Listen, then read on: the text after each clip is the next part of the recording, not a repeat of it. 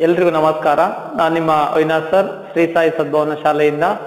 ನಾನು ಈ ದಿನ ಎಂಟನೇ ತರಗತಿಯ ಕನ್ನಡ ವಿಷಯಕ್ಕೆ ಸಂಬಂಧಿಸಿದಂತೆ ಮೂರನೆಯ ಒಂದು ಪದ್ಯ ಭಾಗವಾಗಿರುವಂತಹ ಜ್ಯೋತಿಯೇ ಹಾಗೂ ಜಗಕ್ಕೆಲ್ಲ ಎಂಬಂತಹ ಪದ್ಯವನ್ನ ನಿಮ್ಮ ಮುಂದೆ ಪ್ರಸ್ತುತಪಡಿಸ್ತಾ ಇದ್ದೇನೆ.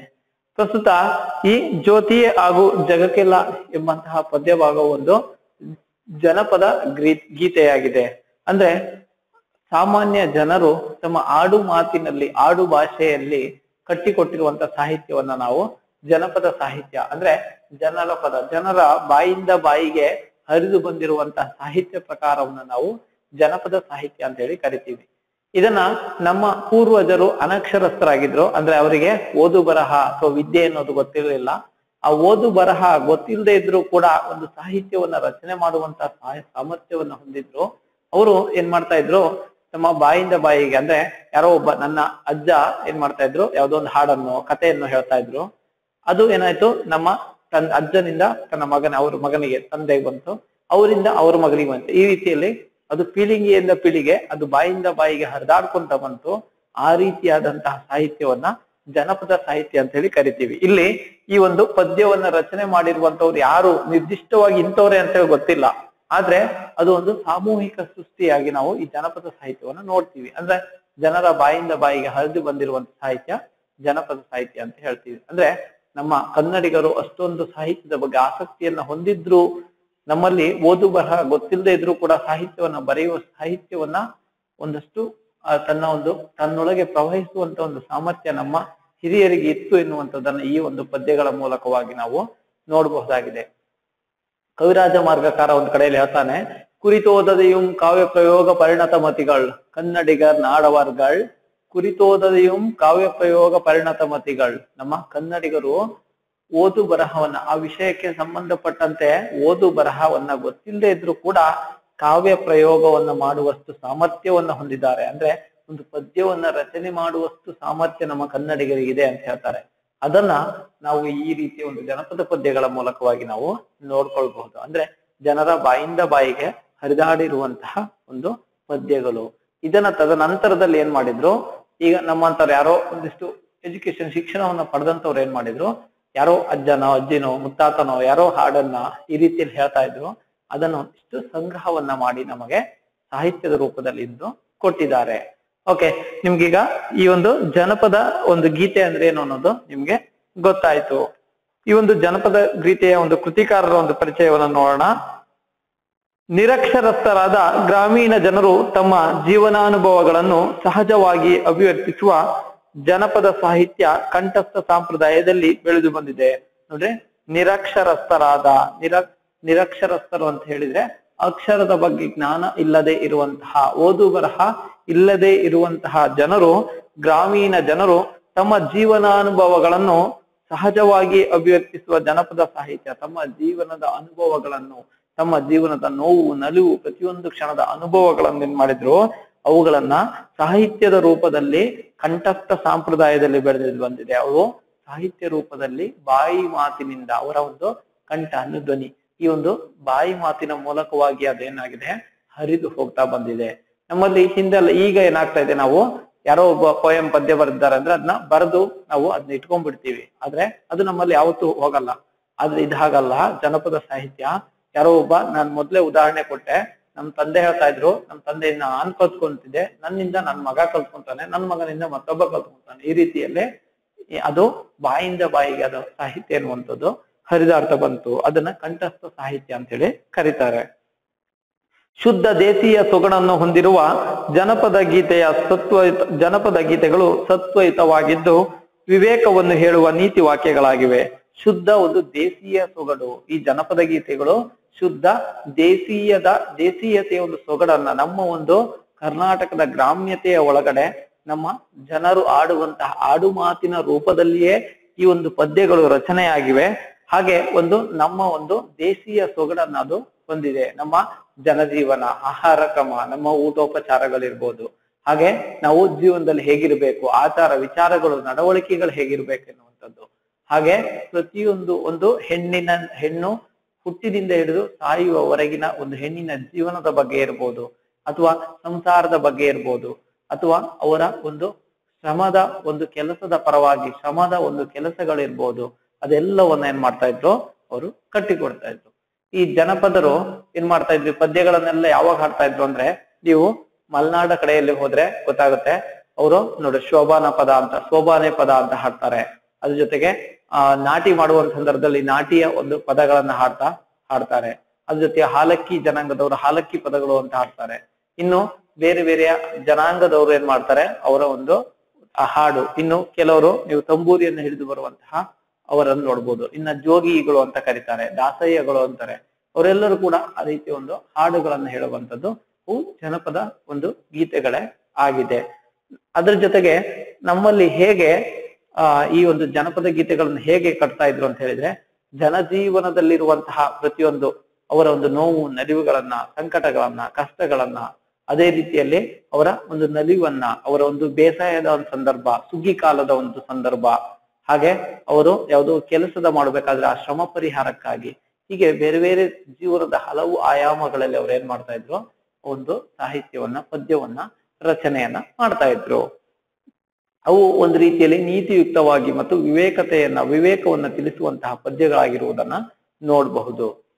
ನೋಡ್ರಿ, ಅಂದ್ರೆ, ಆ ಹೆಣ್ಮಗಳು ಒಬ್ಳು ಹೇಳ್ತಾಳೆ, ಏಳು ತಾಲೆ ಎದ್ದು ಯಾರ್ಯಾರ ನೆಲೆಯಾಲಿ, ಎಳ್ಳು ಜೀರಿಗೆ ಬೆಳೆಯೋಳ ಭೂಮ್ ತಾಯಿ ಎದ್ದೊಂದು ಗಳಿಗೆ ನೆನೆದೇನಾ? ನೋಡ್ರಿ ಏಳು ತಾಲೆ ಎದ್ದು ಯಾರ್ಯಾರ ನೆನೆಯಾಲಿ. ನಾನು ಏಳ್ತಾನೆ ಎದ್ದು ಬೆಳಿಗ್ಗೆ ಯಾರ್ಯಾರನ್ನ ನೆನೆಲಿ, ಓಕೆ, ಏಳ್ತಾನೆ ಬೆಳಿಗ್ಗೆ ನಾವ್ ಎದ್ದಾಗ ನಾವು ಕರಾಗ್ರೆ ವಸತೆ ಲಕ್ಷ್ಮಿ ಕರ ಮಧ್ಯೆ ಸರಸ್ವತಿ, ಕರಮೂಲೆ ಸ್ಥಿತೆ ಗೌರಿ ಪ್ರಭಾತೆ ಕರ ದರ್ಶನಂ ಅಂತ ಹೇಳಿ ಹೇಳ್ತೀವಲ್ವಾ? ಹಾಗೆ ಹೇಳ್ಬೇಕಾದ್ರೆ ಆ ಹೆಣ್ಣು ಮಗಳು ಜನಪದ ಒಬ್ಬ ಹೆಣ್ಮಗಳು ಹೇಳ್ತಾಳಂತೆ, ಏಳು ತಾಲೆ ಎದ್ದು ಯಾರ್ಯಾರ ನೆನೆಯಾಲಿ, ಎಳ್ಳು ಜೀರಿಗೆ ಬೆಳೆಯೋಳ ಭೂಮ್ತ ಎಳ್ಳು ಜೀರಿಗೆನ ನಮಗ್ ಬೇಕಾಗಿರುವಂತ ಪದಾರ್ಥಗಳನ್ನ ಆಹಾರ ಧಾನ್ಯಗಳನ್ನ ಬೆಳೆಯುವಂತ ಭೂಮ್ತಾಯಿ ಎದ್ದೊಂದು ಗಳಿಗೆ ನೆನೆದಾನ ನಾನು ಎದ್ದು ಒಂದು ಗಳಿಗೆ ನಿನ್ನ ನಾನು ನೆನಪಿಸಿಕೊಳ್ತೇನೆ ಅಂತ ಹೇಳಿ ಅವಳು ಹೇಳ್ತಾಳಂತೆ. ಈ ರೀತಿ ಒಂದು, ಆ ಒಂದು, ಆ, ಏನು ಹೆಣ್ಣು ಮಗಳಿಗೆ ಆ ಒಂದು ತಮ್ಮ ನೆಲದ ಮೇಲಿರುವಂತಹ ಒಂದು ಪ್ರೀತಿಯನ್ನು ನಾವು ನೋಡಬಹುದು. ಇನ್ನೊಂದು ಕಡೆಯಲ್ಲಿ ಹೆಣ್ಣು ಮಗಳು ಹೇಳ್ತಾಳೆ, ಅವಳು, ಹಾಲುಂಡ ತವರಿಗೆ ಏನೆಂದು ಹಾಡಲಿ, ಹೊಳೆಯ ದಂಡೆಯಲ್ಲಿರುವ ಕರಕಿಯ ಕುಡಿಹಂಗ ಹಬ್ಬಾಲಿ ಅವರ ರಸಬಳ್ಳಿ ನೋಡ್ರಿ, ಹಾಲುಂಡ ತವರಿಗೆ ಏನೆಂದು ಹಾಡಲಿ? ನಾನು ಹಾಲುಂಡ ತವರಿಗೆ ಏನಂತ ಹಾಡ್ಲಿ? ಹೊಳೆಯ ದಂಡೆಯಲ್ಲಿರುವ ಕರಕಿಯ ಕುಡಿಯಂಗ ಹೊಳೆಯ ದಂಡೆಯಲ್ಲಿ ಕರಕಿಯ ಕುಡಿ ಹೇಗೆ ಚಿಗುರುತ್ತೋ ಆ ರೀತಿಯಲ್ಲಿ ನನ್ನ ತವರು ಮನೆ ಎನ್ನುವಂಥದ್ದು ಬೆಳಗ್ಲಿ, ನನ್ನ ತವರು ಮನೆ ಎನ್ನುವಂಥದ್ದು ಸಿರಿ ಸಂಪತ್ತಿನಿಂದ ಕೂಡ್ಲಿ ಅಂತೇಳಿ ಆ ಹೆಣ್ಣು ಮಗಳು ಹೇಳ್ತಾಳೆ. ಈ ರೀತಿಯಲ್ಲಿ ಜನಪದ ಪದ್ಯಗಳು ಇದೆ.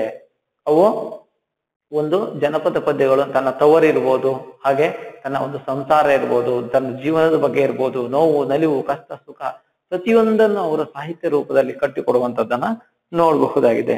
ಪ್ರಸ್ತುತ ಜನಪದ ಗೀತೆಯಲ್ಲಿ ತಾಯಿ ತನ್ನ ಮಗುವಿಗೆ ಹೇಳುವ ವಿವೇಕ, ಪ್ರಸ್ತುತ ಈ ಒಂದು ಜನಪದ ಗೀತೆಗಳಲ್ಲಿ ತಾಯಿ ತನ್ನ ಮಗುವಿಗೆ ಹೇಳುವಂತ ವಿವೇಕ ವಿವೇಕ ಮೀನ್ಸ್ ಬುದ್ಧಿಯನ್ನ ಹೇಳೋದು. ತಾಯಿ ತನ್ನ ಮಗುವಿಗೆ ಬುದ್ಧಿವಾದವನ್ನ ಹೇಳಿ ಹೇಳುವಂತದ್ದಿರ್ಬೋದು ಕಪ್ಪೆ ಅರಬಟ್ಟನ ಶಾಸನದಲ್ಲಿ ತಾಯಿ ಕಡೆಯಲ್ಲಿ ಹೇಳ್ತಾಳೆ, ಕೆರೆಯಂ ಕಟ್ಟಿಸು, ಬಾವಿಯಂ ತೋಡಿಸು ಅವಳು ತನ್ನ ಮಗನಿಗೆ ಹೇಳ್ತಾಳೆ, ನೀನು ಕೆರೆಯನ್ನ ಕಟ್ಟಿಸು, ಬಾವಿಯನ್ನ ತೋಡಿಸು, ಅರವಟಿಕೆ ಛತ್ರಗಳನ್ನ ನೀನು ಕಟ್ಟಿಸು ಅಂತೇಳಿ ತನ್ನ ತಾಯಿ ತನ್ನ ಮಗನಿಗೆ ಹೇಳ್ತಾಳಂತೆ ಅಂದ್ರೆ, ಆ ಜನಪದ ತಾಯಿ ತನ್ನ ಹುಟ್ಟಿನಿಂದಲೇ ಮಕ್ಕಳಿಗೆ ಸಂಸ್ಕಾರವನ್ನ ನೀಡ್ತಾಳೆ ಅನ್ನುವಂಥದ್ದನ್ನ ಈ ಪದ್ಯದ ಮೂಲಕವಾಗಿ ನಾವು ನೋಡಬಹುದು. ತಾಯಿ ತನ್ನ ಮಗುವಿಗೆ ವಿವೇಕವನ್ನ ಹೇಳ್ತಾಳಂತೆ, ಬುದ್ಧಿವಾದವನ್ನ ಹೇಳ್ತಾಳಂತೆ. ವಿದ್ಯಾಭ್ಯಾಸದ ಮಹತ್ವ, ಅದೇ ರೀತಿಯಲ್ಲಿ ಒಂದು ವಿದ್ಯೆಯ ಮಹತ್ವವನ್ನ, ಶಿಕ್ಷಣದ ಮಹತ್ವವನ್ನ ಅಲ್ಲಿ ವಿದ್ಯೆಯ ಮಹತ್ವವನ್ನ ಇಲ್ಲಿ ಹೇಳ್ತಾ ಇದ್ದಾರೆ. ಹೇಗೆ ವಚನಕಾರ ಹೇಳ್ತಾರೆ? ವಿದ್ಯೆಯುಳ್ಳವನ ಮುಖವು ಮುದ್ದಿಕ್ಕುವಂತಿಹುದು ವಿದ್ಯೆ ಇಲ್ಲದವನ ಬರಿ ಮುಖವು ಹಾಳು ರಹದ್ದಿನಂತಿಕ್ಕು ಸರ್ವಜ್ಞ ಅಂತ ಹೇಳಿ ಅಂದ್ರೆ ಯಾರಿಗೆ ವಿದ್ಯೆ ಇದೆಯೋ, ಆ ವಿದ್ಯೆಯುಳ್ಳವನ ಮುಖ ಎನ್ನುವಂಥದ್ದು ಮುದ್ದಿಕ್ಕುತ್ತಾ ಇರುತ್ತೆ. ಸದಾ ಸಂತೋಷದಿಂದ ನಗು ಮುಖ ಇರುತ್ತಂತೆ ವಿದ್ಯೆಯುಳ್ಳವನ ಮುಖ. ಆ ವಿದ್ಯೆ ಇಲ್ಲದವನ ಬರಿಮುಖವು ಯಾರಿಗ್ ವಿದ್ಯೆ ಇಲ್ಲ, ಅನಕ್ಷರಸ್ಥ, ಅವನ ಬರಿ ಹದ್ದಿ ನನ್ನ ಹದ್ದಿನಂತಿಕ್ಕು ಸುರುವಾಗ್ನ ಯಾವಾಗ್ಲೂ ಅವನ ಮುಖದಲ್ಲಿ ಹಾಳು ಸುರಿಯುತ್ತಾ, ಸುರಿತಾ ಇರುತ್ತಂತೆ. ಹಾಗಾಗಿ ಆ ವಿದ್ಯೆಗಿರುವ ಮಹತ್ವವನ್ನು ಹೇಳ್ತಾರೆ. ಅದೇ ರೀತಿಯಲ್ಲಿ ಇಲ್ಲಿ ವಿದ್ಯೆಯ ಒಂದು ಮಹತ್ವವನ್ನ ಈ ಜನಪದರು ವಿದ್ಯೆಯ ಮಹತ್ವದ ಬಗ್ಗೆ ಹೇಳ್ತಾರೆ. ಹಾಗೆ ಶ್ರೀಮಂತಿಕೆ ಅಸ್ಥಿರತೆ. ಶ್ರೀಮಂತಿಕೆ ಎನ್ನುವಂಥದ್ದು ಯಾವತ್ತು? ಶಾಶ್ವತ ಅಲ್ಲ. ಬಡತನ ಶ್ರೀಮಂತಿಕೆ ಎರಡು ಶಾಶ್ವತ ಅಲ್ಲ. ಯಾವಾಗ ಬೇಕಾದ್ರೂ ಬಡವ ಶ್ರೀಮಂತ ಆಗ್ಬೋದು, ಶ್ರೀಮಂತ ಬಡವ ಆಗ್ಬೋದು.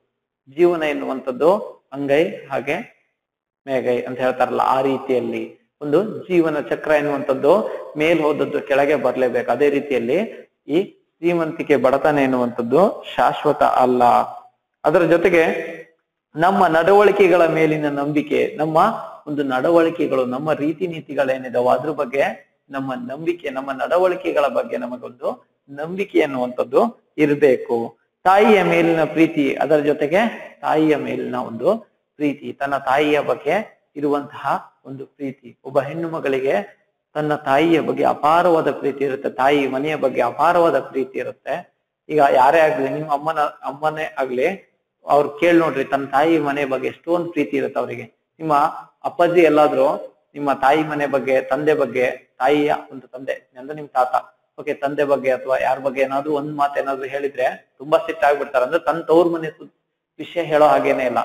ನೀವು ನನ್ ತವ್ರ ಮನೆ ಸುದ್ದಿಗೆ ನೀವ್ ಯಾಕೆ ಬರ್ತೀರಾ ಅಂತೇಳಿ ಅವ್ರಿಗೆ ಜಗ ಬಂದ್ಬಿಡ್ತಾರೆ ಅಂದ್ರೆ ಆ ತಾಯಿ ಮತ್ತು ತನ್ನ ತವರಿನ ಬಗ್ಗೆ ಹೆಣ್ಮಕ್ಕಳಿಗಿರುವಂತಹ ಒಂದು ಪ್ರೀತಿಯನ್ನ, ಅದೇ ರೀತಿಯಲ್ಲಿ ಪ್ರೀತಿಯ ಒಂದು ಸಂಬಂಧಗಳ ನಿಜ ಸ್ವರೂಪಗಳ ಸರಳ ಸುಂದರವಾಗಿ ಅಭಿವ್ಯಕ್ತಗೊಂಡಿದೆ ಆ ಒಂದು ಪ್ರೀತಿಯ ಸಂಬಂಧಗಳು ಸರಳವಾಗಿ ಇಲ್ಲಿ ಅಭಿವ್ಯಕ್ತಗೊಂಡಿರುವಂತದ್ದನ್ನ ನಾವು ನೋಡಬಹುದು. ಇಲ್ಲಿ ನೋಡ್ರಿ, ಮೊದಲ ಪದ್ಯದಲ್ಲಿ ತಾಯಿ ತನ್ನ ಮಗುವಿಗೆ ಒಂದು ಹೇಳುವಂತಹ ಬುದ್ಧಿವಾದ ಹಾಗೆ ಎರಡನೇ ಪದ್ಯದಲ್ಲಿ ವಿದ್ಯಾಭ್ಯಾಸದ ಮಹತ್ವ, ಮೂರನೇ ಪದ್ಯದಲ್ಲಿ ಶ್ರೀಮಂತಿಕೆ ಅನ್ನೋದು ಯಾವತ್ತು? ಶಾಶ್ವತ ಅಲ್ಲ. ಅದ್ರ ಜೊತೆ, ಅದ್ರ ಜೊತೆಗೆ ನಮ್ಮ ನಡವಳಿಕೆಗಳು ನಡೆ ನುಡಿಗಳು ಹೇಗಿರ್ಬೇಕು ಅಂತ ಹೇಳಿ ಅದ್ರ ಜೊತೆಗೆ ಕೊನೆಯ ಪದ್ಯದಲ್ಲಿ ತಾಯಿಯ ಮೇಲಿನ ಒಂದು ಪ್ರೀತಿಯೇ ಈ ಇಷ್ಟು ಅಂಶಗಳು ನಿಮಗೆ ಇರುವಂತಹ ಪದ್ಯ ಭಾಗದಲ್ಲಿ ಅಭಿವ್ಯಕ್ತವಾಗಿರುವಂತದ್ದನ್ನ ನೋಡಬಹುದಾಗಿದೆ. ಪ್ರಸ್ತುತ ತ್ರಿಪದಿಗಳನ್ನು ದೇ ಜವರೇಗೌಡ ಬರೆದಿರುವ ಜನಪದ ಗೀತಾಂಜಲಿ ಹಾಗೂ ಹಲಸಂಗಿ ಗೆಳೆಯರು ಸಂಪಾದಿಸಿರುವ ಗರತಿ ಹಾಡು ಸಂಕಲನದಿಂದ ಆಯ್ಕೆ ಮಾಡಿಕೊಳ್ಳಲಾಗಿದೆ. ಈ ಒಂದು ಜನಪದ ಗೀತೆಯನ್ನ ಈ ಜ್ಯೋತಿ ಹಾಗೂ ಜಗಕ್ಕೆಲ್ಲ, ಜ್ಯೋತಿ ಹಾಗೂ ಜಗಕ್ಕೆಲ್ಲ ಎಂಬಂತಹ ಈ ಒಂದು ಜನಪದ ಗೀತೆಯನ್ನ ನಿಮಗೆ ದೇ ಜವರೇಗೌಡ ಎನ್ನುವಂತವರು ಸಂಪಾದಿಸುವ ಇರುವಂತಹ ಜನಪದ ಗೀತಾಂಜಲಿ ಹಾಗೂ ಗರತಿ ಹಾಡು ಎಂಬಂತಹ ಕೋನ ಸಂಕಲನದಿಂದ ಆಯ್ಕೆ ಮಾಡಿಕೊಳ್ಳಲಾಗಿದೆ. ಯಾವ್ಯಾವ್ದು ಅಂತ ಹೇಳಿದ್ರೆ, ಅಲ್ಲಿ ಜನಪದ ಗೀತಾಂಜಲಿ, ಆಯ್ಕೆ? ಜನಪದ ಗೀತಾಂಜಲಿ. ಜನಪದ ಗೀತಾಂಜಲಿ. ಮತ್ತು ದೇ ಜವರೇಗೌಡ ಅವರು ಸಂಪಾದಿಸಿರುವಂತಹ ಜನಪದ ಗೀತಾಂಜಲಿ ಹಾಗೂ ಹಲಸಂಗಿ ಗೆಳೆಯರು ಸಂಪಾದಿಸಿರುವಂತಹ ಗರತಿ ಹಾಡು. ಗರತಿಯ ಹಾಡು ಎಂಬಂತಹ, ಗರತಿಯ ಹಾಡು ಎಂಬಂತಹ ಕವನ ಸಂಕಲನದಿಂದ ಈ ಪದ್ಯಗಳನ್ನ ಆಯ್ಕೆ ಮಾಡಿಕೊಳ್ಳಲಾಗಿದೆ. ಈ ಜ್ಯೋತಿ ಹಾಗೂ ಜಗಕಲೆ ಎಂಬಂತಹ ಒಂದು ಪದ್ಯದ ಅಂಶಗಳನ್ನ ಈ ಜೆ ಜವರೇಗೌಡ ಸಂಪಾದಿಸಿರುವಂತಹ ಜನಪದ ಗೀತಾಂಜಲಿ ಹಾಗೂ ಹಲಸಂಗಿ ಗೆಳೆಯರು ಸಂಪಾದಿಸಿರುವಂತಹ ಕೃತಿ ಹಾಡು ಪದ್ಯದಿಂದ ಆರಿಸಿಕೊಳ್ಳಲಾಗಿದೆ ಹಾಗಾದ್ರೆ ಪದ್ಯದ ಕಡೆಗೆ ನಾವು ಹೋಗೋಣ. ಜ್ಯೋತಿ ಹಾಗೂ ಜಗಕ್ಕೆಲ್ಲ ಜನಪದ ಗೀತೆ. ನೋಡ್ರಿ ತ್ರಿಪದಿ ಅಂದ್ರೆ ಏನು ಅಂತ ಹೇಳಿ ಒಮ್ಮೆ ಹೇಳ್ಬಿಡ್ತೀನಿ. ತ್ರಿಪದಿ ಅಂತ ಹೇಳಿದ್ರೆ ಮೂರು ಸಾಲಿನ ಪದ್ಯ. ತ್ರಿಪದಿ. ಪದಿ ಅಂದ್ರೆ ಸಾಲು. ಮೂರು ಸಾಲುಗಳನ್ನ ಉಳ್ಳಂತಹ ಪದ್ಯಕ್ಕೆ ತ್ರಿಪದಿ ಅಂತ ಹೇಳಿ ಕರೀತಾರೆ. ಎಲ್ಲಾದ್ರೂ ಪ್ರಶ್ನೆಯನ್ನ ಕೇಳ್ಬೋದು. ಮೂರು ಸಾಲಿನ ಪದ್ಯವನ್ನು ಏನೆಂದು ಕರೆಯುತ್ತಾರೆ ಅಂತ ಕೇಳ್ಬೋದು. ಅಥವಾ ಆ, ರೀತಿಯಲ್ಲಿ ಕೇಳ್ತಾರೆ. ಮೂರು ಸಾಲಿನ ಪದ್ಯವನ್ನ ತ್ರಿಪದಿ ಅಂತ ಹೇಳಿ ಕರೀತಾರೆ. ಇಲ್ಲಿ ನೋಡ್ರಿ ಪ್ರಸ್ತುತ ನಿಮಗೆ ಈ ಒಂದು ಜ್ಯೋತಿ ಹಾಗೂ ಜಗಕ್ಕೆಲ್ಲ ಅಂದ್ರೆ ಜ್ಯೋತಿ ಹಾಗೂ ಜಗಕ್ಕೆಲ್ಲ ಜ್ಯೋತಿ ಅಂತ ಹೇಳಿದ್ರೇನು? ಬೆಳಕು. ಜ್ಯೋತಿ ಅಂತ ಹೇಳಿದ್ರೆ, ಸರ್ ನಮ್ ಕ್ಲಾಸ್ಮೇಟ್ ಹೆಸರು ನಮ್ ಕ್ಲಾಸ್ಮೇಟ್ ಹುಡುಗಿ ಹೆಸರು ಜ್ಯೋತಿ ಅಂತ ಹೇಳಿ ಹೇಳ್ಬೇಡ್ರಿ. ಓಕೆ ಜ್ಯೋತಿ ಅಂತ ಹೇಳಿದ್ರೆ ಬೆಳಕು. ಜ್ಯೋತಿ ಅಂತ ಹೇಳಿದ್ರೆ ಬೆಳಕು. ಜ್ಯೋತಿ ಹಾಗೂ ಜಗಕ್ಕೆಲ್ಲ ಅಂದ್ರೆ ಜಗಕ್ಕೆಲ್ಲ ಅಂತ ಹೇಳಿದ್ರೆ ಜಗಕ್ಕೆಲ್ಲ ಜಗತ್ತಿಗೆ, ಅಂದ್ರೆ ಜಗತ್ತಿಗೆ ತಾಯಿ ತನ್ನ ಮಗನಿಗೆ ಹೇಳ್ತಾರಂತೆ ಜ್ಯೋತಿ ಜ್ಯೋತಿ ಆಗು ಜಗಕ್ಕೆಲ್ಲ ನೀನು ಈ ಜಗತ್ತಿಗೆ ಬೆಳಕನ್ನ ನೀಡುವಂತವನಾಗು. ತಾಯಿ ತನ್ನ ಮಗುವಿಗೆ ಹೇಳ್ತಾಳೆ, ನೀನ್ ಮಗು, ನೀನು ಈ ಜಗತ್ತಿಗೆ ಬೆಳಕನ್ನ ನೀಡುವಂತವನಾಗು. ಜಗತ್ತಿಗೆ ಬೆಳಕನ್ನ ನೀಡುವಂತವನಾಗು ಅಂತ ಹೇಳಿದ್ರೆ, ಒಬ್ಬ ಒಳ್ಳೆಯ ವ್ಯಕ್ತಿ ಆಗು, ಒಬ್ಬ ಆದರ್ಶ ವ್ಯಕ್ತಿ ಆಗು. ಈಗ ಮಹಾತ್ಮ ಗಾಂಧೀಜಿಯವರು ಈ ಜಗತ್ತಿಗೆ ಬೆಳಕನ್ನ ಕೊಟ್ಟಂತಹ ವ್ಯಕ್ತಿ, ಒಬ್ಬ ಬುದ್ಧ, ಒಬ್ಬ ಗಾಂಧೀಜಿ. ಓಕೆ ಒಬ್ಬ ಮಹಾತ್ಮರುಗಳು ಅಂತ ಏನ್ ಕರಿತೀವೋ ಆ ರೀತಿಯ ವ್ಯಕ್ತಿ ನೀನಾಗು. ಒಬ್ಬ ಅಬ್ದುಲ್ ಕಲಾಂ ಇರ್ಬೋದು, ಜಗತ್ತಿಗೆ ಬೆಳಕನ್ನ ನೀಡಿದಂತಹ ವ್ಯಕ್ತಿ. ಹಾಗೆ ಒಬ್ಬ ಸರ್ ಎಂ ವಿಶ್ವೇಶ್ವರಯ್ಯ ಇರ್ಬೋದು.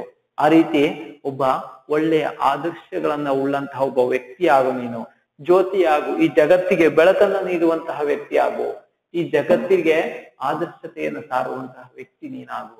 ಒಬ್ಬ ಒಳ್ಳೆಯ ಸಂಸ್ಕಾರವಂತ ವ್ಯಕ್ತಿ ನೀನಾಗು ಅಂತ ಹೇಳಿ ತಾಯಿ. ಹೇಳ್ತಾಳೆ, ಈ ಜಗತ್ತಿಗೆ ಬೆಳಕನ್ನು ನೀಡುವಂತವನು ನೀನಾಗು, ಜನರ ಕಷ್ಟಗಳನ್ನ ಒರೆಸುವಂತವನು ಜನರ ಕಷ್ಟದ ಕಣ್ಣೀರು ಒರೆಸುವಂತಹ ವ್ಯಕ್ತಿ ನೀನಾಗು. ಮಗು ನೀನು ಈ ಜಗತ್ತಿಗೆ ಬೆಳಕಾಗು, ಈ ಜಗತ್ತಿಗೆ ಜ್ಯೋತಿ ಆಗು ಅಂತ ಹೇಳಿ ತನ್ನ ತಾಯಿ ತನ್ನ ಮಗುವಿಗೆ ಹೇಳ್ತಾಳೆ ಜ್ಯೋತಿ ಆಗು ಜಗಕ್ಕೆಲ್ಲ. ನೀನು ಮಗು, ನೀನು ಈ ಜಗತ್ತಿಗೆ ಬೆಳಕು ನೀಡುವಂತಹ ಒಬ್ಬ ಒಳ್ಳೆಯ ಪ್ರಜೆ ಆಗು ಅಂತ ಹೇಳಿ ಒಳ್ಳೆಯ ವ್ಯಕ್ತಿ ಆಗು ಅಂತ ಹೇಳಿ ತಾಯಿ ತನ್ನ ಮಗುವಿಗೆ ಹೇಳ್ತಾಳೆ. ಎಲ್ಲಾ ತಂದೆ ತಾಯಿಯರ ಆಸೆನೂ ಕೂಡ ಅದೇ ಆಗಿರುತ್ತೆ. ಏನು ಅಂತ ಹೇಳಿದ್ರೆ, ನನ್ನ ಮಗು ನನ್ನ ಮಗ ಬೆಳೆದು ದೊಡ್ಡವನಾದ್ಮೇಲೆ ಈ ಜಗತ್ತಿಗೆ ಬೆಳಕನ್ನು ನೀಡುವಂತಹ ವ್ಯಕ್ತಿ ಆಗ್ಬೇಕು.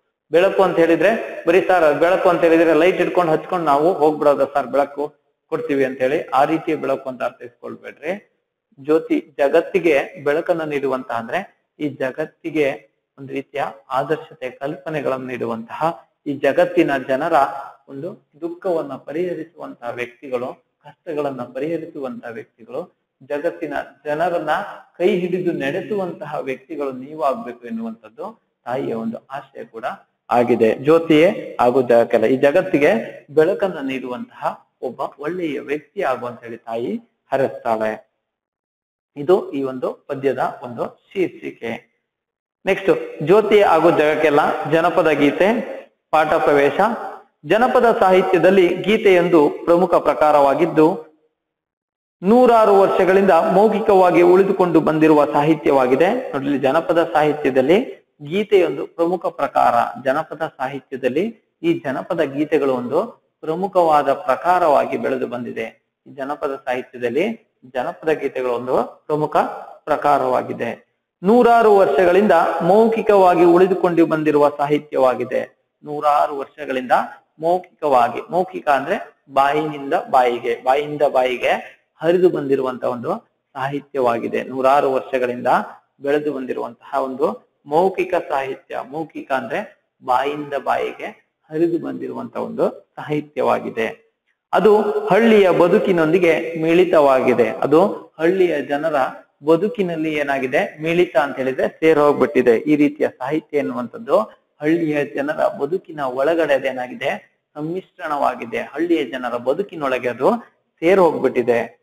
ಬಹುತೇಕ ಜನಪದ ಗೀತೆಗಳು ಕ್ರಿಯೆಯ ಪ್ರೇರಣೆಯಿಂದ ಜನ್ಮ ತಾಳಿವೆ. ಬಹುತೇಕ ಹೆಚ್ಚಿನ ಒಂದು ಜನಪದ ಗೀತೆಗಳು ಒಂದು ಕ್ರಿಯೆಯ ಪ್ರೇರಣೆಯಿಂದ, ಕ್ರಿಯೆ ಅಂತ ಹೇಳಿದ್ರೆ ಅವ್ರು ಮಾಡುವಂತಹ ಕೆಲಸಗಳಿಂದ ಅದು ಹುಟ್ಟುಕೊಂಡಿದೆಯಂತೆ. ಜನಪದರ ನಿತ್ಯ ಕಸುಬುಗಳಾದ ಕುಟ್ಟುವುದು, ಬೀಸುವುದು, ಕೇರುವುದು, ಕಡೆಯುವುದು, ತೂಗುವುದು, ಬಿತ್ತುವುದು ತೂರುವುದು, ಕಳೆ ಕೀಳುವುದು, ಗಾಡಿ ಹೊಡೆಯುವುದು ಮುಂತಾದ ಸಂದರ್ಭಗಳಲ್ಲಿ ಹಾಡುಗಳು ಸಹಜವಾಗಿ ಹೊರಹೊಮ್ಮುತ್ತವೆ. ನೋಡ್ರಿ, ಜನಪದರು ಕೆಲಸ ಮಾಡುವಂತಹ ಸಂದರ್ಭದಲ್ಲಿ ಅವರು ಹಾಡುಗಳನ್ನ ಕಟ್ಟುವಂಥದ್ದು ಹೆಚ್ಚಂತೆ. ಅದರಲ್ಲಿ ಜನಪದರು ನಿತ್ಯ ಕೆಲಸಗಳಾದ ಕುಟ್ಟುವುದು ಅವರು ಏನ್ ಮಾಡ್ತಾ ಇದ್ರು? ಹಿಂದೆಲ್ಲ ಇವಾಗಿಂದ ಈಗಿನ ರೀತಿಯಲ್ಲಿ ಫ್ಲೋರ್ ಮಿಲ್ಗಳು ಇದ್ದ ಇದ್ದಿರ್ಲಿಲ್ಲ. ಆ ಒಂದು ಯಾವುದೇ ವಸ್ತುವನ್ನ ಪುಡಿಯನ್ನ ಮಾಡ್ಲಿಕ್ಕೆ. ಆಗ ಏನ್ ಮಾಡ್ತಾ ಇದ್ರು ಅವರು? ಒನಕೆಯನ್ನ ತಗೊಂಡು ಕುಟ್ತಾ ಇದ್ರು. ಆ ರೀತಿ ಕುಟ್ಟಬೇಕಾದ್ರೆ ನಮ್ಮ ಒಂದು ಶ್ರಮದ ಪರಿಹಾರಕ್ಕೆ ಸುಸ್ತನ್ನ ಕಳ್ಕೊಬೇಕು. ಅದಕ್ಕೋಸ್ಕರ ಏನ್ ಮಾಡ್ತಾ ಇದ್ರು? ಹಾಡನ್ನ ಹೇಳ್ತಾ ಅವ್ರು ಏನ್ ಮಾಡ್ತಾ ಇದ್ರು? ಕುಟ್ತಾ ಇದ್ರು. ಅದರ ಜೊತೆಗೆ ಬೀಸುವುದು, ಅಕ್ಕಿಯನ್ನ ಕೂಡ ಅವರು ಏನ್ ಮಾಡ್ತಾ ಇದ್ರು? ಹಿಂದೆಲ್ಲ ಬೀಸ್ತಾ ಇದ್ರು. ಅಕ್ಕಿಯನ್ನ ಪುಡಿ ಮಾಡ್ಬೇಕು ಅಂತ ಹೇಳಿದ್ರೆ ಹಿಟ್ಟನ್ನ ಮಾಡ್ಬೇಕಂದ್ರೆ ಬೀಸ್ತಾ ಇದ್ರು. ಈಗಿನ ರೀತಿಯಲ್ಲಿ ಗಿರಣಿಗಳೆಲ್ಲ ಆಗ ಏನ್ ಮಾಡ್ತಾ ಇದ್ರು? ಆ ಕಲ್ನಲ್ಲಿ ಬೀಸ್ಬೇಕಿತ್ತು. ಬೀಸ್ಬೇಕಾದ್ರೆ ಅವರು ಹಾಡುಗಳನ್ನ ಹೇಳ್ತಾ ಬೀಸ್ತಿದ್ರು. ನೆಕ್ಸ್ಟ್ ಆ, ಕೇರುವುದು, ಕಟೆಯುವುದು. ನೋಡಲಿ ಕೇರೋದು. ಅಕ್ಕಿಯನ್ನ ಅವರು, ಆ, ನೆಲ್ಲು ಏನಾದ್ರು ಇದ್ರೆ, ಅಕ್ಕಿಯಲ್ಲಿ ಕಸ ಇದ್ರೆ ಅದನ್ನ ತೆಗಿಯೋಕೆ ಈ ರೀತಿ ಕೇರ್ತಾ ಇದ್ರು. ಆಮೇಲೆ ಕಟೆಯುವುದು, ಅದನ್ನ ಸಾಣಿಸುವಂತದ್ದು ಹಾಗೆ ತೂಗುವುದು ಹಾಗೆ ನೆಕ್ಸ್ಟ್ ಅಲ್ಲಿ ತೂಗುವುದು, ಬಿತ್ತುವುದು. ನೋಡಲಿ ಆ, ಒಂದು ತೂಗಬೇಕಾದ್ರೆ, ಭತ್ತವನ್ನ ತೂರ್ಬೇಕಾದ್ರೆ ಅದರಲ್ಲಿರುವಂತಹ ಹೊಟ್ಟನ್ನ ಮತ್ತು ಅದರಲ್ಲಿರುವಂತಹ ಬೇಡದಿರುವ ಪದಾರ್ಥಗಳನ್ನು ಹೊರತೆಗಿಬೇಕಾದ್ರೆ, ಅವರು ಹಾಡುಗಳನ್ನು ಹೇಳ್ತಾ ಇದ್ರಂತೆ. ಬಿತ್ತುವುದು ಬಿತ್ತನೆ ಕೆಲಸ ಈಗ ರೈತರು ಮಳೆಗಾಲ ಮುಂಗಾರ ತಕ್ಷಣ ಬಿತ್ತನೆ ಶುರು ಮಾಡ್ತಾರಲ್ವಾ? ಆ ಬಿತ್ತನೆ ಮಾಡಬೇಕಾದ್ರೆ, ನಾಟಿಯನ್ನ ಮಾಡಬೇಕಾದ್ರೆ ನೆಕ್ಸ್ಟ್ ತೂರುವುದು. ತೂರುವುದು ಅಂದ್ರೆ ಭತ್ತವನ್ನ ಅವ್ರು ಏನ್ ಮಾಡ್ತಾರೆ? ಬೇರೆ ಮಾಡ್ಬೇಕಾದ್ರೆ. ಅದರಲ್ಲಿ ಇದ್ದಂತ ಹೊಟ್ಟು ಚೆಟ್ಟುಗಳನ್ನ ಬೇರೆ ಮಾಡಿ ಗಟ್ಟಿ ಭತ್ತವನ್ನ ಬೇರೆ ಮಾಡ್ಬೇಕಾದ್ರೆ ಅವರು ಹಾಡುಗಳನ್ನ ಹೇಳ್ಕೊತಾ ಇದ್ರು. ಹಾಗೆ ಕಳೆ ಕೀಳುವುದು, ಗಾಡಿ ಹೊಡೆಯುವುದು, ಕಳೆಗಳನ್ನ ಈ ಹೆಣ್ಮಕ್ಕಳು ಏನ್ ಮಾಡ್ತಾ ಇದ್ರು? ಗದ್ದೆಗಳಲ್ಲಿ ಕಳೆಗಳನ್ನ ಕೀಳ್ಬೇಕಾದ್ರೆ, ಆ ಬೇಡದೇ ಇರುವಂತಹ ಕಳೆಗಳನ್ನ ಕಿತ್ತು ತೆಗಿಬೇಕಾದ್ರೆ, ಹಾಗೆ ಗಾಡಿ ಹೊಡೆಯುವಂತಹ ಸಂದರ್ಭದಲ್ಲಿ ಅವ್ರು ಏನ್ ಮಾಡ್ತಾ ಇದ್ರು? ಸಹಜವಾಗಿ ಹಾಡುಗಳನ್ನ ಹೇಳ್ಕೊಳ್ತಾ ಇದ್ರಂತೆ. ಜೊತೆಗೆ ಹಬ್ಬ, ಹರಿದಿನ, ಮದುವೆ, ಗೃಹ ಪ್ರವೇಶ ಮುಂತಾದ ಶುಭ ಕಾರ್ಯಗಳು ಹಾಡಿನಿಂದಲೇ ಆರಂಭಗೊಂಡು ಹಾಡಿನಿಂದಲೇ ಮುಕ್ತಾಯಗೊಳ್ತಿದ್ವು. ಜೊತೆಗೆ ಮದುವೆ ಇರ್ಬೋದು, ಸಮಾರಂಭಗಳು, ಮದುವೆ, ಮುಂಜಿ, ಹಾಗೆ ಹಬ್ಬ, ಹರಿದಿನಗಳು ಪ್ರತಿಯೊಂದು ಸಂದರ್ಭದಲ್ಲೂ ಅವರು ಹಾಡುಗಳನ್ನ ಹೇಳ್ತಾ ಇದ್ರು. ಮದುವೆಯಲ್ಲಿ ಹಾಡುಗಳಿದ್ವು. ಹಾಗೆ ಹಬ್ಬಗಳಲ್ಲಿ ಹಾಡುಗಳಿದ್ವು. ಹೀಗೆ ಪ್ರತಿಯೊಂದು ಸಂದರ್ಭದಲ್ಲಿ ಅವರು ಹಾಡುಗಳನ್ನ ಹೇಳ್ಕೊಂಡು ಅವರು ಏನ್ ಮಾಡ್ತಾ ಇದ್ರು? ಆ ಒಂದು ಹಬ್ಬಗಳನ್ನ ಆಚರಣೆ ಮಾಡ್ತಾ ಇದ್ರು. ಈ ಹಬ್ಬಗಳು ಹಾಡಿನಿಂದಲೇ ಪ್ರಾರಂಭವಾಗ್ಯವು. ಹಾಡಿನಿಂದಲೇ ಅವು ಮುಕ್ತಾಯಗೊಳ್ತಿದ್ವಂತೆ. ಈ ಜನಪದ ಗೀತೆಗಳು ಜೀವನ ಮೌಲ್ಯಗಳನ್ನು ಒಳಗೊಂಡಿದ್ದು ಬದುಕನ್ನ ಸುಂದರವಾಗಿ ರೂಪಿಸಿಕೊಳ್ಳಲು ಮಾರ್ಗದರ್ಶಿಯಾಗಿವೆ. ಈ ಜನಪದ ಗೀತೆಗಳೇನಾಗಿದೆ? ಅವು ಸುಂದರವಾದ ಹಾಡುಗಳಿಂದಲೇ ಅವು ಏನಾಗುತ್ತೆ? ಆರಂಭಗೊಳ್ತವೆ. ಅದ್ರ ಜೊತೆಗೆ ಈ ಜನಪದ ಗೀತೆಗಳು ಒಂದು ಜೀವನದ ಒಂದು ಮೌಲ್ಯಗಳನ್ನ, ಜೀವನಕ್ಕೆ ಬೇಕಾಗಿರುವಂತಹ ಮೌಲ್ಯಗಳನ್ನ ತಿಳಿಸಿಕೊಡುವುದರ ಜೊತೆಗೆ ಬದುಕನ್ನ ಸುಂದರವಾಗಿಸಿಕೊಳ್ಳುವಂತಹ ಮಾರ್ಗದರ್ಶಿ, ನಮ್ಮ ಜೀವನವನ್ನ ಸುಂದರವಾಗಿ ಮಾಡಿಕೊಳ್ಳಿಕ್ಕೆ ಬೇಕಾದಂತಹ ಮಾರ್ಗದರ್ಶಿ ಸೂತ್ರಗಳು ಕೂಡ ಅವು ಆಗಿವೆ. ಈ ಜನಪದ ಗೀತೆಗಳು ಅವೇನಾಗ್ತವೆ? ಜೀವನಕ್ಕೆ ಒಂದು ಮೌಲ್ಯವನ್ನ ಕಟ್ಟಿಕೊಡುವುದರ ಜೊತೆಗೆ ಬದುಕನ್ನ ಹೇಗೆ ಸುಂದರವಾಗಿಸ್ಕೊಳ್ಬೇಕು ಎಂಬಂತ ಅಂಶಗಳನ್ನು ಕೂಡ ಅವು ತಿಳಿಸಿಕೊಡ್ತಾವಂತೆ. ಒಟ್ಟಾರೆ ಈ ಪಾಠ ಪ್ರವೇಶದಲ್ಲಿ ಹೇಳ್ತಿರೋದಷ್ಟೇ, ಜನರ ಬಾಯಿಯಿಂದ ಬಾಯಿಗೆ ಹರಿದು ಬಂದಿರುವಂತಹ ಸಾಹಿತ್ಯ ಜನಪದ ಸಾಹಿತ್ಯ. ಜನರು ತಮ್ಮ ಶ್ರಮ ಪರಿಹಾರದ ಸಂದರ್ಭದಲ್ಲಿ ಕುಟ್ಟೋದು, ಕೇರೋದು, ಬೀಸೋದು, ಹೀಗೆ ತಮ್ಮ ನಾಟಿಯನ್ನ ಮಾಡೋದು, ಗಾಡಿಯನ್ನ ಹೊಡೆಯುವಂತದ್ದು ಹೀಗೆ ಬೇರೆ ಬೇರೆ ಸಂದರ್ಭಗಳಲ್ಲಿ ಜನಪದರು ಹಾಡುಗಳನ್ನ ಕಟ್ಟಿ ಹಾಡ್ತಾ ಇದ್ರು. ಮದುವೆ, ಮುಂಜಿ, ಹಬ್ಬ, ಹರಿದಿನಗಳು, ಹೀಗೆ ಎಲ್ಲಾ ಸಂದರ್ಭದಲ್ಲಿ ಅವರು ಏನ್ ಮಾಡ್ತಾ ಇದ್ರು?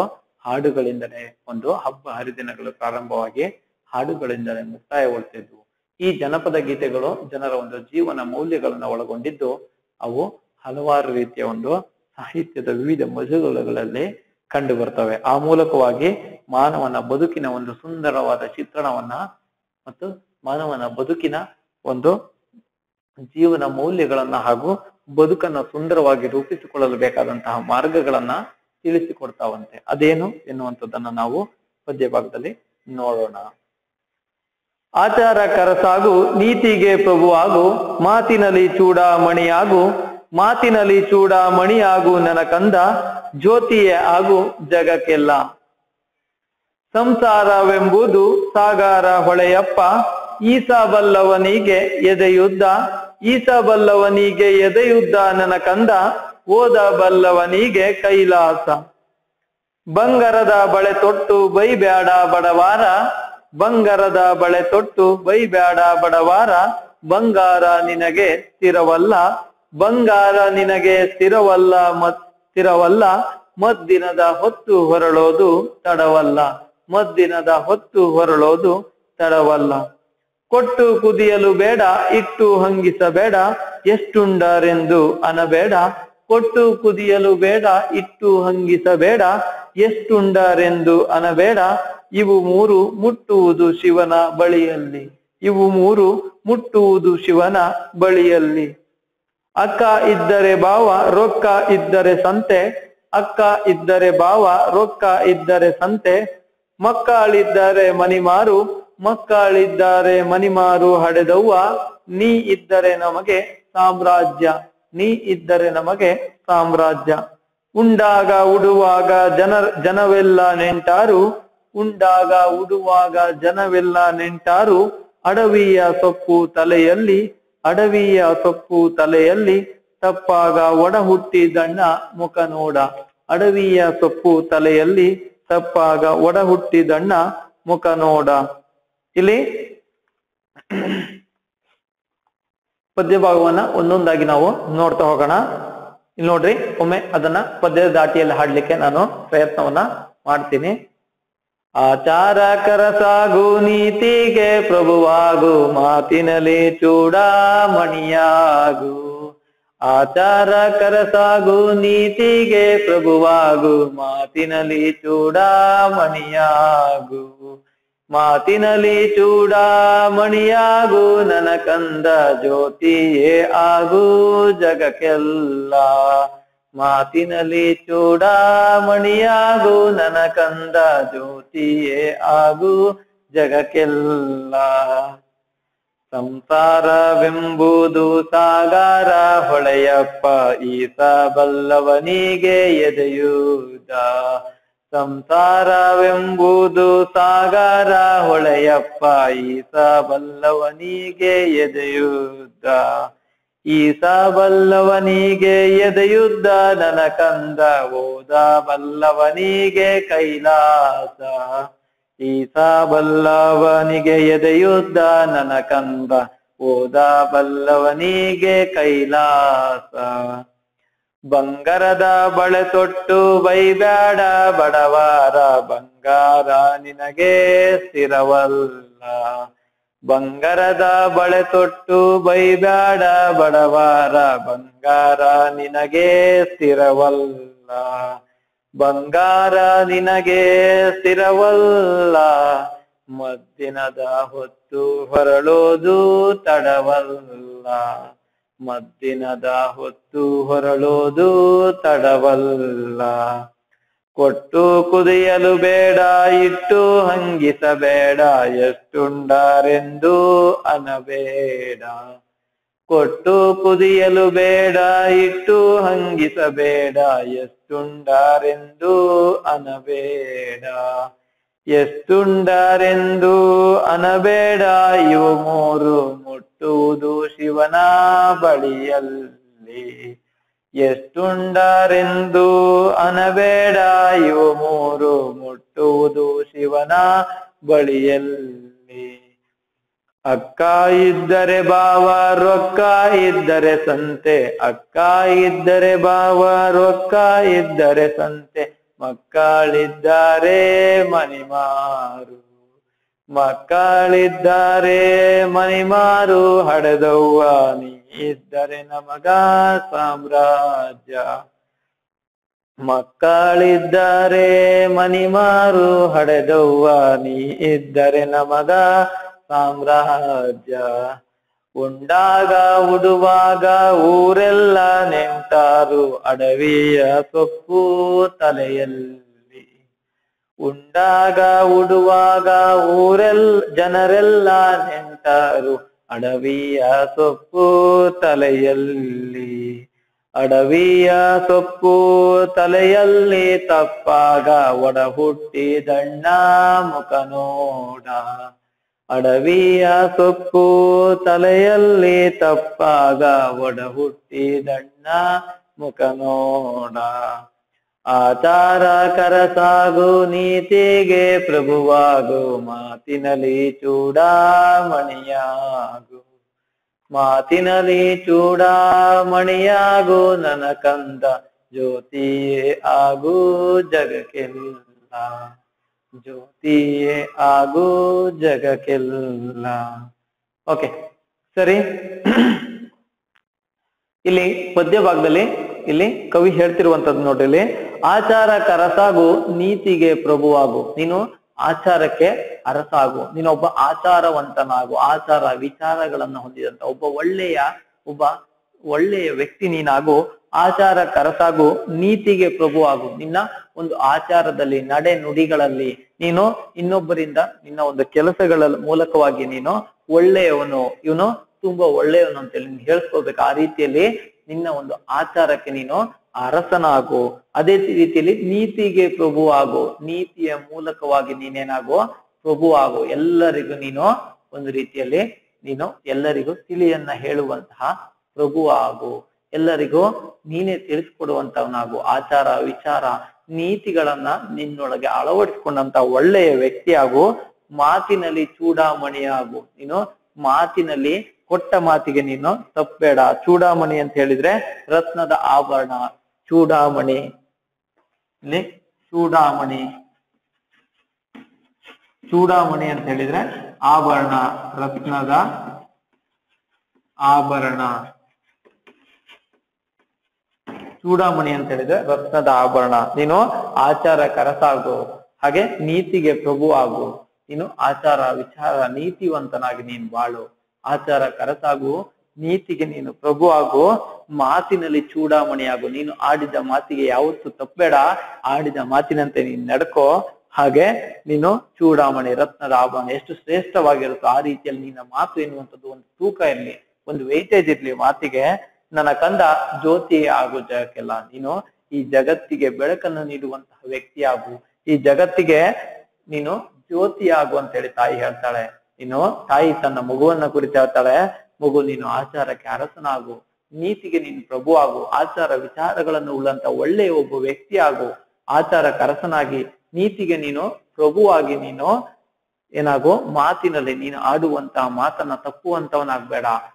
ಮಾತು ಆಡಿದರೆ ಹೋಯ್ತು, ಮುತ್ತು ಒಡೆದರೆ ಹೋಯ್ತು ಅಂತ ಬಸವಣ್ಣ ಹೇಳ್ತಾರೋ, ನೀನು ಮಾತು ಎಂಬುದು ಅದೇನಾಗಿರ್ಬೇಕು? ಶಿವನಿಗೆ ಅರ್ಪಿತವಾಗಿರ್ಬೇಕು ಆ ರೀತಿಯಲ್ಲಿ ನೀನು ಮಾತಾಡಿದ್ರೆ ಅದು ಚೂಡಾಮಣಿಯಂತೆ, ರತ್ನದ ಆಭರಣದಂತೆ, ಅದು ಶ್ರೇಷ್ಠವಾಗಿ ಒಂದು ತೂಕ ಮಾತಿಗೆ ಒಂದು ವೇಟೇಜ್ ಅನ್ನೋದಿರ್ಬೇಕು ಅದೇ ರೀತಿಯಲ್ಲಿ ಜ್ಯೋತಿಯೇ ಆಗು ನನ್ನ ಕಂದ. ನೀನು ಈ ಜಗತ್ತಿಗೆ ಬೆಳಕನ್ನು ನೀಡುವಂತಹ ಒಬ್ಬ ವ್ಯಕ್ತಿ ಆಗು ಅಂತ ಹೇಳಿ ತಾಯಿ ತನ್ನ ಮಗುವನ್ನ ಕುರಿತು ಹೇಳ್ತಾಳೆ.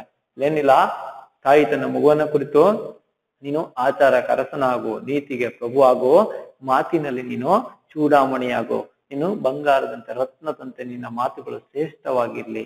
ಆ ಮೂಲಕವಾಗಿ ಈ ಜಗತ್ತಿಗೆ ಬೆಳಕನ್ನ ನೀಡುವಂತಹ ಒಬ್ಬ ಒಳ್ಳೆಯ ವ್ಯಕ್ತಿ ಆಗುವಂತ ಹೇಳಿ ತಾಯಿ ತನ್ನ ಮಗನನ್ನ ಕುರಿತು ಹೇಳ್ತಾಳೆ. ನೋಡ್ರಿ, ಒಬ್ಬ ತಾಯಿ ತನ್ನ ಮಗ ಹೇಗಿರ್ಬೇಕು ಅಂತೇಳಿ ಆಕೆಯ ಒಂದು ಕನಸು ಎಷ್ಟು ದೊಡ್ಡದಾಗಿದೆ ನೋಡ್ರಿ. ಒಬ್ಬ ಜೀಜಾಬಾಯಿ ಶಿವಾಜಿಯನ್ನ ಬೆಳೆಸಿ ಆಕೆ ಹಿಂದೂ ಒಂದು ಸಾಮ್ರಾಜ್ಯವನ್ನ ಕಟ್ತಾಳೆ. ಅದೇ ರೀತಿಯಲ್ಲಿ ನಮ್ಮ ಒಂದು ಎಷ್ಟೋ ತಾಯಂದಿರು ತನ್ನ ಮಕ್ಕಳಿಗೆ ಒಳ್ಳೆಯ ಅಂಶಗಳನ್ನ ಹೇಳಿ ಬೆಳೆಸಿರುವಂತದ್ದು ಉದಾಹರಣೆಗಳು ನಮ್ಮಲ್ಲಿ ಸಾಕಷ್ಟಿದೆ. ಅದೇ ರೀತಿಯಲ್ಲಿ ಇಲ್ಲಿ ತಾಯಿ ತನ್ನ ಮಗುವಿಗೆ ಹೇಳ್ತಾಳೆ, ನೀನು ಆಚಾರ, ಕರಸನಾಗು, ನೀತಿಗೆ ಸೊಬು ಆಗು, ಮಾತಿನಲ್ಲಿ ನೀನು ಚೂಡಾಮಣಿಯಾಗು ಅದೇ ರೀತಿಯಲ್ಲಿ ನೀನು ಈ ಜಗತ್ತಿಗೆ ಬೆಳಕು ನೀಡುವಂತಹ ವ್ಯಕ್ತಿ ಆಗು ಅಂತ ಹೇಳಿ ತಾಯಿ ತನ್ನ ಮಗನನ್ನ ಕುರಿತು ಹೇಳ್ತಾಳೆ. ಹಾಗಾದ್ರೆ ಇಂದಿನ ತರಗತಿಯಲ್ಲಿ ಇದಿಷ್ಟು ಅಂಶಗಳು ಸಾಕು. ಉಳಿದಂತ ಅಂಶಗಳನ್ನ ಮುಂದಿನ ತರಗತಿಯಲ್ಲಿ ನಾವು ಚರ್ಚೆಯನ್ನ ಮಾಡೋಣ. ಹಾಗಾದ್ರೆ ಇಲ್ಲಿಯವರೆಗೆ ತಿಳಿಸಿಕೊಟ್ಟಿರುವಂತಹ ಅಂಶಗಳು ನಿಮಗೆ ಅರ್ಥವಾಗಿದೆ ಅಂತ ಹೇಳಿ ಭಾವಿಸ್ಕೊಳ್ತಾ ಇಂದಿನ ತರಗತಿಯನ್ನು ಇಲ್ಲಿಗೆ ಮುಗಿಸ್ತಾ ಇದ್ದೇನೆ. ಎಲ್ರಿಗೂ ಧನ್ಯವಾದಗಳು.